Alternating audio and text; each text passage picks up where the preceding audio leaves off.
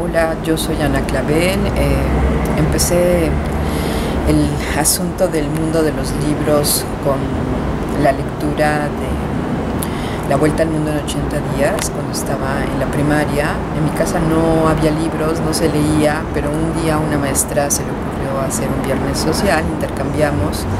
A mí me tocó comprarlo en la papelería más cercana a mi casa porque no sabía dónde había libros total que cuando abrí el libro me sumergí en un mundo de aventuras que de verdad me transformó. Un poco me pasó lo que Orhan Pamuk dice en, eh, la, en la novela de La vida diferente, que es justamente que abres un libro y te transforma la vida. Así que si no han vivido la experiencia de estar en este plano terrenal y a la vez brincar a mundos de fantasía, no se pierdan la aventura de entrar a un libro. Bueno, El amor es hambre, el título más reciente publicado por Alfaguara. Eh, ahora sí que dentro de mi trayectoria tiene que ver justamente con una suerte de caperucita contemporánea. Yo estaba trabajando otra novela y de pronto me topo con la historia de Caperucita y casi como si fuera un lobo, Caperucita Roja me propone retrabajar esta historia a partir de una muchacha contemporánea que tiene ojos enormes para comer mejor y que le da por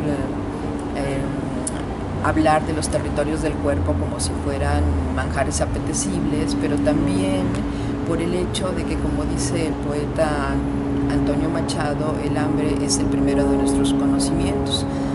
Artemisa, que es el personaje central de la novela El amor es hambre, cree que efectivamente eso es cierto, pero también que el hambre es el primero de nuestros placeres.